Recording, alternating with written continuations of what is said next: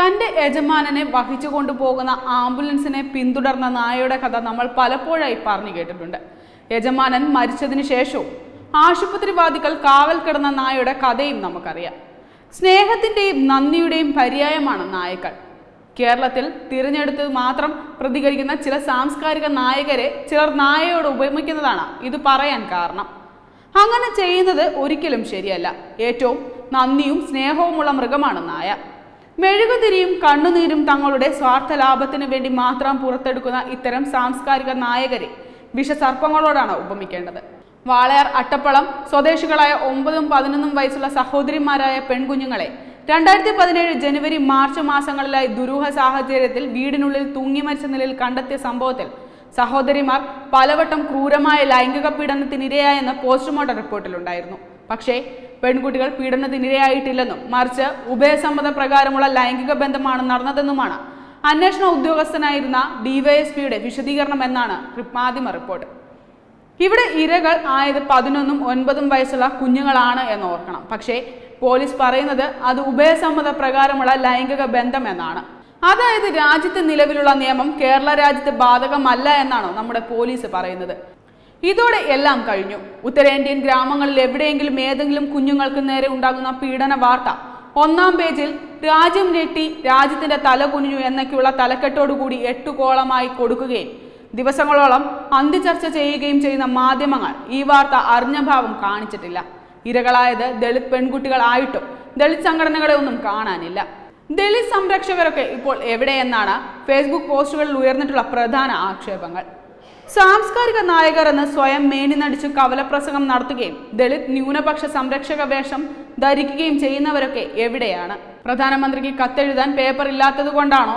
അതോ പേനയിൽ മഷി തീർന്നു പോയത് കൊണ്ടാണോ എന്നറിയില്ല സാംസ്കാരിക നായകർക്ക് ആർക്കും കത്തെഴുതേണ്ട. വനിതാ കമ്മീഷൻ യുവജന കമ്മീഷൻ യുവജന സംഘടനകൾ ജാതിമത സംഘടനകൾ മനുഷ്യാവകാശ സംരക്ഷകർ ആരുമില്ല ഈ പാവം കുട്ടികൾക്ക് വേണ്ടി പ്രതികരിക്കാൻ. അതെന്താ? ആർക്കും മെഴുകുതിരി കത്തിച്ച് പ്രതിഷേധിക്കേണ്ടാത്തത്. എന്താണ് മാധ്യമങ്ങൾ മൗനം പാലിക്കുന്നത്? എന്താണ് രാജ്യത്തിന്റെ തല താഴാത്തത്?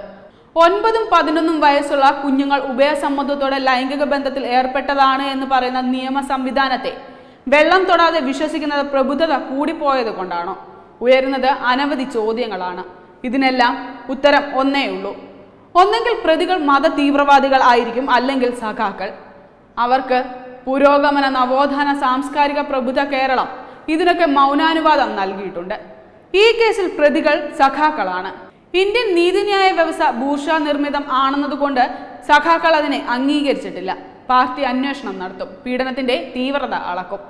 ചൈനയിലും ഉത്തര കൊറിയയിലുമൊക്കെ ഇതുപോലുള്ള കാര്യങ്ങൾ ഒന്നും പീഡനത്തിന്റെ പരിധിയിൽ വരില്ല. പരാതി പറഞ്ഞാൽ ശിക്ഷ ആ കുഞ്ഞുങ്ങളുടെ മാതാപിതാക്കൾക്കായിരിക്കും. ഈ കേസിലും ഉണ്ടാകുക ഇതൊക്കെ തന്നെയാണെന്ന ചുരുക്കം. തെളിവ് നശിപ്പിച്ച ശേഷം കോടതിയിൽ പോയാൽ എന്ത് സംഭവിക്കും എന്നറിയാമല്ലോ. ഇനിയിപ്പോൾ പ്രതികൾക്ക് പാർട്ടി സ്വീകരണം ഒരുക്കും. പാർട്ടി ഭരണം നടത്തുന്ന ഏതെങ്കിലും ബാങ്കിൽ ജോലിയും കൊടുക്കും. എന്തായാലും ഈ വാർത്ത ചർച്ചയാകാതിരിക്കാൻ ഉത്തരേന്ത്യയിലെ ഏതെങ്കിലും ചാണക കേസുമായി രാജ്യം ഞെട്ടി തല കുനിച്ചു എന്നൊക്കെയുള്ള തലക്കെട്ടുമായി മലയാളം മാധ്യമങ്ങൾ ഉടൻ തന്നെ രംഗത്തിറങ്ങും. നവോത്ഥാനത്തിന്റെ പൂർണതയിൽ എത്തി നിൽക്കുന്ന സാക്ഷരത കേരളത്തിൽ ഒൻപത് വയസ്സൊക്കെ ആകുമ്പോൾ മാനസികമായും ശാരീരികമായും എല്ലാം പ്രായപൂർത്തിയാകും. ആഫ്രിക്കൻ ഗോത്രവർഗ ആചാരങ്ങളിൽ പോയിട്ട് പ്രാകൃത അറേബ്യൻ സംസ്കാരത്തിൽ പോലും ഇങ്ങനെ ഉണ്ടായി കാണില്ലെന്നാണ് സമൂഹ മാധ്യമങ്ങൾ ഉയ- ഉയരുന്ന പ്രധാന വിമർശനം. ഇതാണ് കേരള മോഡൽ സ്ത്രീ ശാക്തീകരണം. ഒൻപത് വയസ്സുള്ള പെൺകുഞ്ഞ് ഉഭയകക്ഷി സമ്മതത്തോടെ ലൈംഗിക ബന്ധം നടത്തിയെന്ന് മാധ്യമങ്ങളോട് പറയുന്ന നിയമപാലകരും അത് വിശ്വസിക്കുന്ന സമൂഹവും ഒരിക്കൽ കൂടി തെളിയിച്ചു നമ്മൾ പ്രബുദ്ധരും സാംസ്കാരിക സമ്പന്നരും ആണെന്ന്. Web desk കത്തുമൈ news